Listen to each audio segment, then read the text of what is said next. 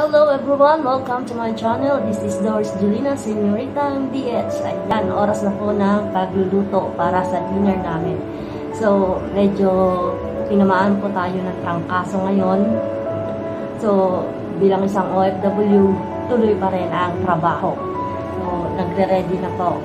Actually, nagluluto na po ako ng pagkain ng mga bata. so, may trangkaso po tayo ngayon. Ito po ang aking gamot para sa sakit ng ulo, para sa etamol, at para sa ubo. Ayan. Ubo. Ay.